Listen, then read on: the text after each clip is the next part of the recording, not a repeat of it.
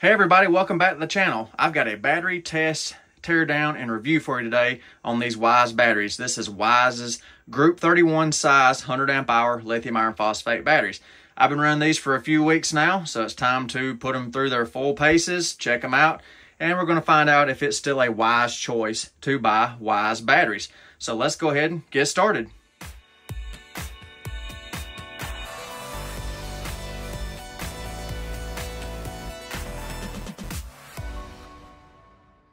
So before I get in the video, full disclosure, I contacted Weize Battery Company. They did not contact me.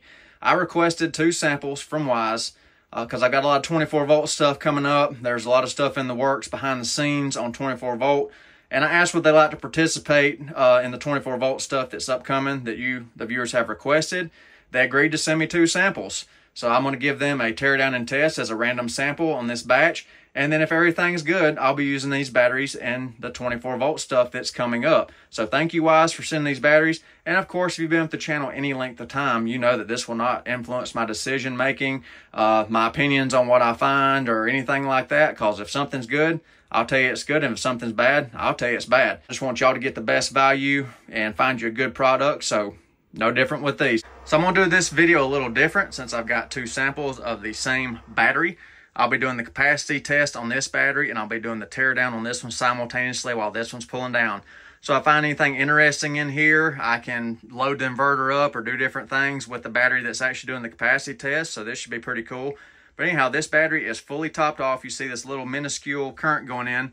That is from the display right there. I will pop the breaker and show you. So see, I disconnected the breaker from there. So turn it back on and then I will disconnect the charger. So we are fully charged. You saw that.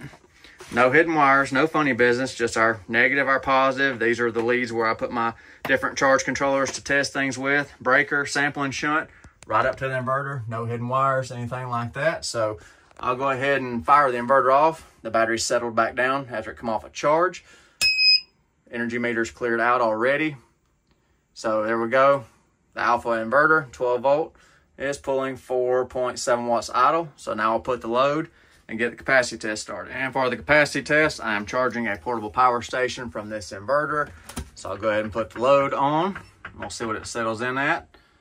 Should be, you know, 400-ish is what the power station pulls. So we'll see what it what it settles in at. So 460-ish uh, watts coming out of there, 34 amps out of the battery. So the capacity test is underway. So while this battery's pulling down, I'll go ahead and give you your specifications for this battery. Of course, it is a 12.8 volt, 100 amp hour lithium iron phosphate battery. I've got the quick tech specs right here. I'll give you a couple of screenshots to save you time. Instead of me rambling on about it, just a quick couple of slides. If you want to pause and look at it further, go right ahead.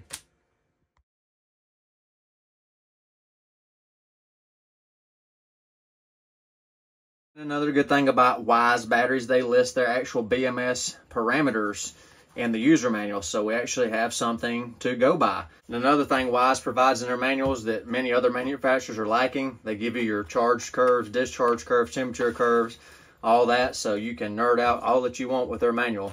And Weize also provides a 10-year warranty on their batteries. One last look at it, still sealed up, so I'll go ahead and tear into it and we'll see what we got build quality Be right back with you. All right, 250 watt hours on the capacity test. Got the cover most of the way cracked on this one.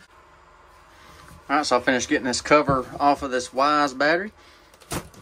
There we go, it's coming off now. Nice thick sealant on there. There we go. What we got going on here. Get you flipped around for a better look.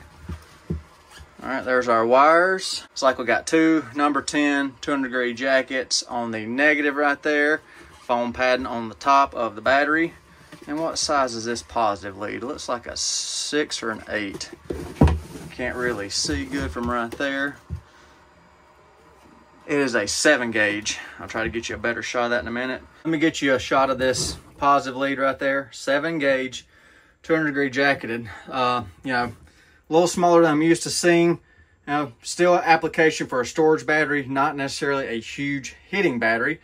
So good thing about having two and doing this test at live capacity test, uh, you can see I'm pulling 469 watts out, 12.83 volts coming out of the battery. into the inverter. So let me load it up live and show that, you know, what a small wire on the positive lead does under big load. So 12.84 volts right now. Put some more load in it right now. There we go. Basically doubled the draw and we dropped down to 12.52 volts, 12.51 volts at 74 amps. So I imagine, you know, that's causing a little bit of a voltage droop. So anyhow, while that is still running over there, I'm gonna get this cell pack out, get all this epoxy board coating off of it and see what we got going on. Cell pack is out of the box. It was glued down big time on the bottom. like some contact paper and stuff in there on the bottom, two-sided adhesive. So very sticky, very difficult to get out of the case. It was secure in there, no moving around, foam everywhere, which is good. I'll take a look at it at the same time with you. All right, what do we have going on here? That's a very familiar looking BMS. That appears to be uh, Sihang. Sihang is a quality BMS used by many OEMs. I've got several batteries with Sihangs. They perform well. So let me see if we can get the specs on it right here right there. Let me zoom you in.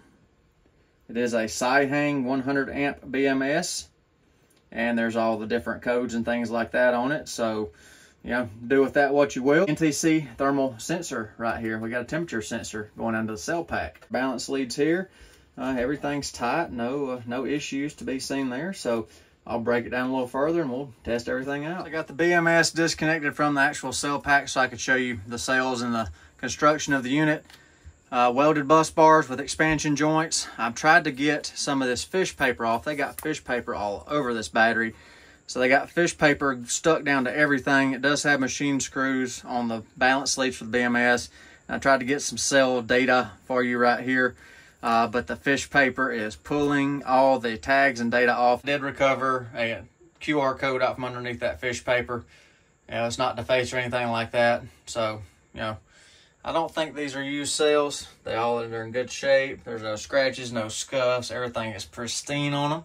So I think we do have brand new cells. A little side view of the cells right here. We do have epoxy board separating each cell. Two layers of tie band compression. Don't see any bulging, anything weird going on with the cells. You know, like I said, they look pristine. Don't see any any indication of used or repurposed cells.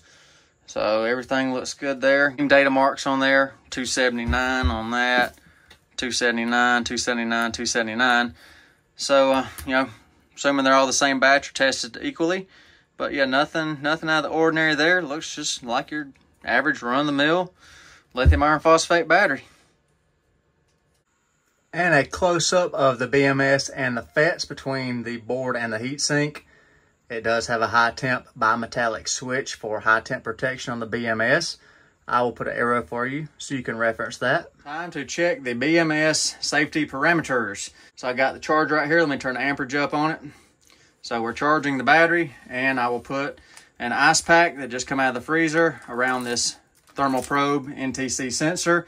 This is checking for charge protection, low temp charge protection.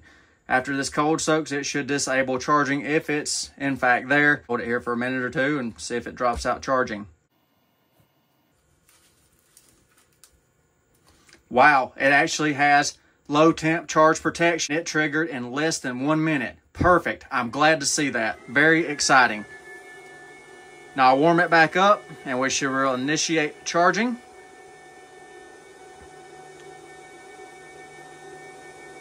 Excellent, excellent. I like seeing that. That's good.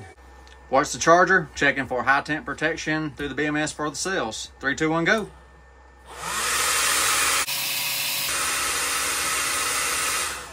Twenty seconds, perfect. Cool it back down, initiate charging again. There we go, perfect. Just give it a little hit. Give this battery a little hit right here. Oh yeah.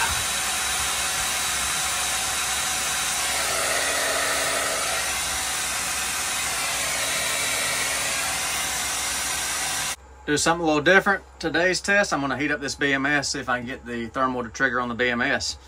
A little bit different. I'm gonna go easy on it. I don't wanna cook anything, but I'm gonna blow some hot air right where that bimetallic switch is, see if I can get it to shut down.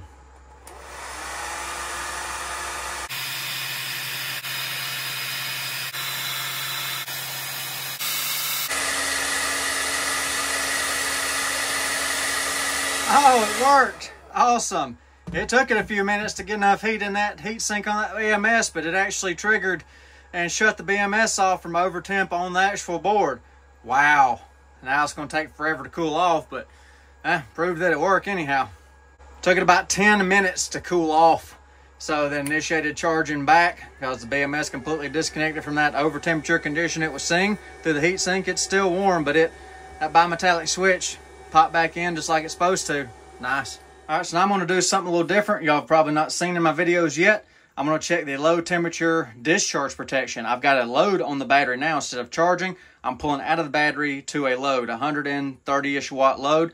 So I'm gonna hit the sensor with some cold sauce and see if it shuts off. So this will go blank because the battery should disconnect, so you should see this drop out.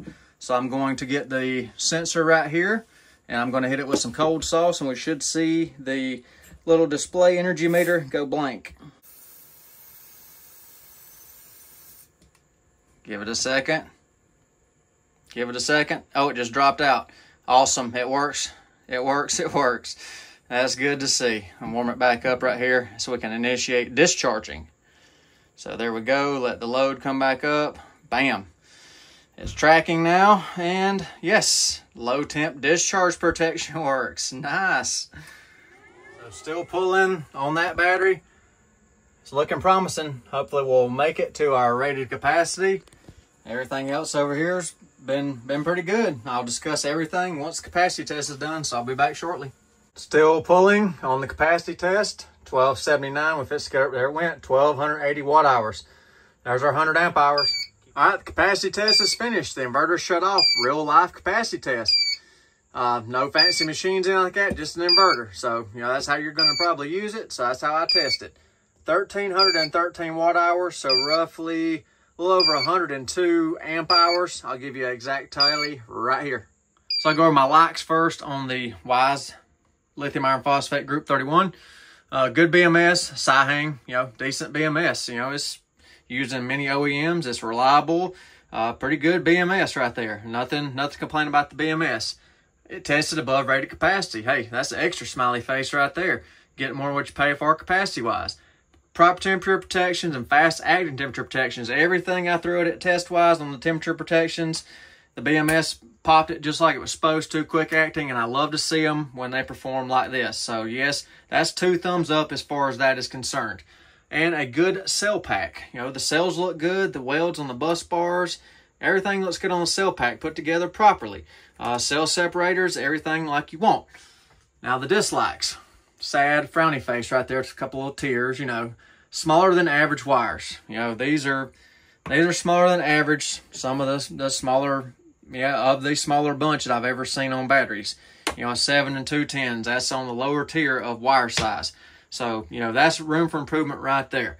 And that gave us our you know voltage voltage droop or drop under under bigger loads, and you'll see that. So you know it is what it is. The price, a little bit higher than average.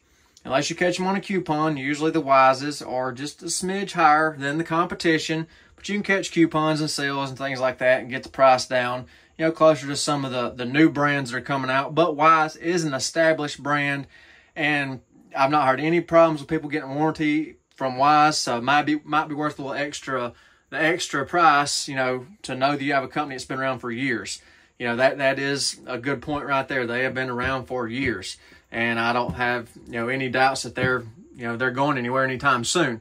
A little sloppy on the overall internal build assembly. Not talking about the cell pack.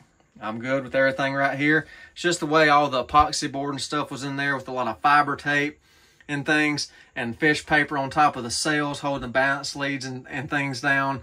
Uh, you know, a little bit different what I'm used to seeing just you know, they could have improved that a little bit, maybe different foam, different style, more precise cut epoxy board, things like that. You know, just a minor gripe.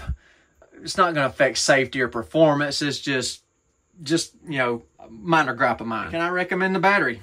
Yeah, I can recommend Weize. This is not for trolling motors, golf carts, or none of that nonsense. But, you know, general use, you know, solar and off grid, yeah, as long as you stay under 100 amps, it should serve you well. And with all the temperature protections, feel free to use it all over the world. It is protected. Good to go. Going to be seeing more of these in the 24 volt system. So I have links in the description if you want to look into this a little bit further. But thank y'all for watching. Hope you have a nice day. Y'all take care and be safe.